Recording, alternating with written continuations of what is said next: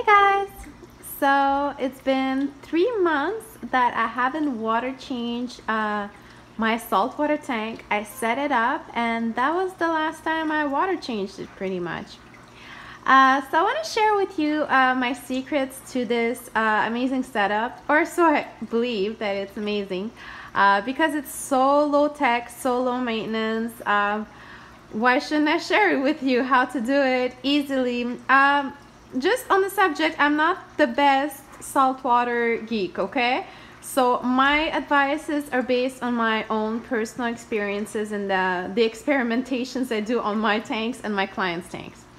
So uh, this tank uh, has been running technically for a year and a half, but I've been upgrading it in size over the past year and a half. So I started with a 20, then for a year it was a 40 gallon, and now it's a 65 gallons. So let's come closer and show you some corals while I talk to you. Uh, so uh, the stocking is um, pretty big I find. I have two clownfish which are right there in the anemone. This is a Haitian uh, purple tip anemone by the way. Let me just zoom in on it. Uh, so I have two clownfish. I have a kole tang I have an Atlantic blue tang, which is featured right here. It's gonna come through. I have a um, red wrasse, which is currently on top right there. I hope she will come closer. I do believe this is a female. I don't remember the name exactly, but it's a wrasse. So it's a wrasse, okay?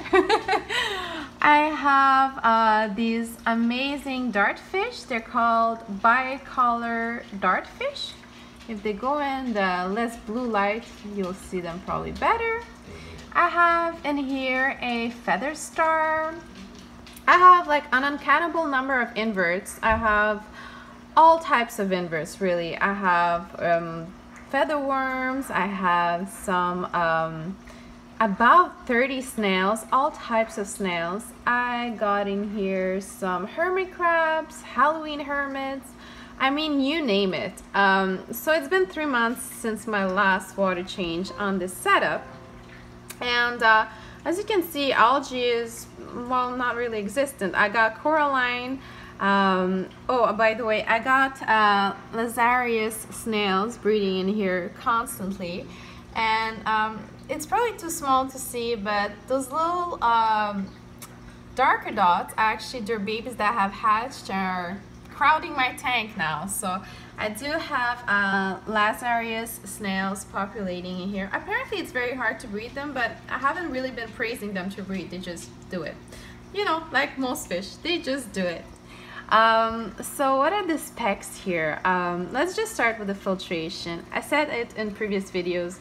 I have a Tidal 110. I have a Jebao Wave Maker cross flow like this and I have a Magus, uh, Bubble Magus skimmer on top right here. Very minimal, it was so small for my tank that I had to like knock it in and break part of my rim to put it on. So that's what it is. And I have two kilo ray um, lights. I have a tiny refugium. It's like a breeder box, if I can show you. It's attached here with a magnet. There's two types of algae and I'm trying to grow a red mangrove on top. So aside that, I really don't do water changes. Um, I do top-offs daily if I see the water evaporate. Uh, currently I have covers on it so it doesn't evaporate as fast. Um, but when I do top-offs, I just do um, tap water, by the way. It's just tap water. And this whole tank has been filled with tap water, which I neutralized with some Seachem Safe, the powder. Instead of uh, using uh, Prime, I use Safe because Prime, in my experience, makes skimmers over skim and it's not quite the same. I prefer the powder version of the Seachem product, so it's safe. Yes, it's very safe. oh, by the way, I totally forgot to tell you I have one damsel in here. I got a clown goby. He is so cute. He's one of my oldest fish with those um, those clowns. I have a also oh a starry blenny. He is funny. See, this is my starry blenny. And, oh, I have shrimps. Obviously, I have shrimps. I have four shrimps. Here and there, I have a few shrimps. And I bought a gold head. Hold on, I'm just trying to resume. I bought a gold head uh, goby a couple weeks ago and I never seen it again. It's not on the floor, so it's still in the tank, but I never seen it again. Uh, so back to our uh, sheep or muttons or whatever you want to call it, back to the business. Uh, how do I maintain? Uh, I do top ups daily and uh, lately in the past month, just for coral growth, I have been adding, and brace yourself, like it's just something I already had in the house.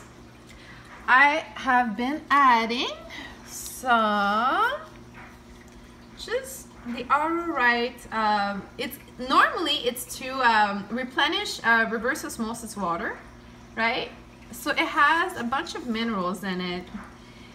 Then you can use also like any supplement, reef supplement, if you have a bunch of like stony corals that need uh, magnesium and um, calcium. In here really, um, where's, uh, where's the chemistry? Where does it even say what you have in there? I don't know, it doesn't say nothing. Um, but it supports your alkalinity, ta ta ta ta ta ta. Anyways, it's just the regular Alright, that I've been having for years. Uh, another thing that does tiny, tiny bit, and it's called iodine, just regular iodine. I'm not actually uh, even using like a product for aquarium, it's just iodine. So two drops uh, once or twice a week, just, you know, make sure the corals have their iodine. But iodine is present in seafood you feed them, it's present in everything, like don't try too hard. If you see your corals need a little kick, try iodine. And my other secret, secret, secret additive, uh, which I already mixed into my RO, so I don't have the bottle anymore. It's called strontium. So strontium helps stony corals build their uh, skeleton. It, alongside magnesium and calcium, it's one of the most important things to dose. Uh, many reefers will overlook it and be like, ah, strontium, it's so like, but it's something that, sorry, my light is messing up. Uh, it's present in seawater and it's not so much present in your tap water. Uh, and if, even like a lot of uh, salt mixes don't really focus on it. So they kind of dismiss it and that's why I don't use uh, reef salt for my tank. It's basically an experiment, this tank. Uh, because I find a lot of reef salts are just poorly mixed. Like not all of them. The Red Sea one is pretty good. Um, Aquaforest I had so-so results. Um, I can name all of them, but if you want balanced water, just get tap water if your tap water is safe enough. That's just my theory, okay? I'm not like the best, best, best. I'm just talking from my experience and from what my corals are doing. So that's just what I'm talking about. So don't overlook strontium. Strontium is very important along calcium and magnesium. It's one of the building blocks of good corals. And here we have my little guys. This is a clown, a clown, no, not a, a Halloween hermit. There you go. Lazarus snails. This is Bob the Blob, a folded brain coral. And we have a few more corals. So yeah while I'm showing this uh, it's really easy. It's an experimental tank. So far it's working. I don't think it's gonna crash anytime soon. Hopefully not. Uh, I have all sorts of corals in it. I have leathers. I have uh, I have stony corals I even have a, uh, torch coral here. And uh, the most important for me is what I put in the tank. Because whatever you put in the tank is what stays in the tank. Um, and what stays in the tank is like what you feed them. So what you feed them has to be, um, well, I feed them only the food that I make for them. Basically, it's in my recipes. I'll add it in the link up top or below. Uh, it's a seafood mix with the seaweed, with uh, a few special ingredients, with garlic, ta ta ta. Um, nori seaweed that I add in it. I add kelp. Uh, like it's a good blend. Uh, because I noticed every time my clients would try to feed dry food to their reef tank, Hello, cyano. Cyano, if you don't know, I'll try to insert it. Um, it's um, a bacterial algae, basically. It's basically made through bacteria buildup in your tank. Sometimes it's because of a lack of flow and sometimes it's just what you're putting in your tank. So cyano is not pleasant to see. You need chemicals to get rid of. You have to scrape it. It's, it's a pain in the ass basically. So uh, to avoid cyano, I don't feed any dry food. And if you feed them frozen food, make sure to rinse it because um, it's often frozen in nitrite nitrate, nitrite, something like that, and that spikes up your nitrite. Haha! surprise, surprise! Um, so I hope you're seeing the colors as they are. Um, so yeah, basically uh, feed good your tank and you won't have any cyano issues, you won't have algae. Um, now I'm talking for my clients, okay? Uh, if you're a new client of mine and you see algae, it takes about six months for all the algae stages to uh, go through your tank. So if you see uh, brown algae in the beginning, it's normal. If you see spot green algae, it's normal. If you see a bit of hair algae, get a get a few algae eating fish such as tangs, such as uh, urchins. You'll deal with it. it. It's just don't put too much crap in your tank. And one day, all this nasty algae that people think is nasty, but it's just algae, it's like grass in your yard, it's all gonna turn to coralline. And coralline, uh, let me show you real quick. No, I think this is actually, uh, is that coralline? That, okay, better example. This is coralline. Okay, so once you see this, that means your tank is stable and it's growing good coralline. Uh, it's the last stages of algae. If you don't like coralline, just get a sea urchin, they eat that. Uh, but I like coralline because it replaces all the other nasty algae. so there you go guys, these are my reefing secrets. I'm, like I'm saying, I'm not the best at it, but I kind of know what I'm doing for now.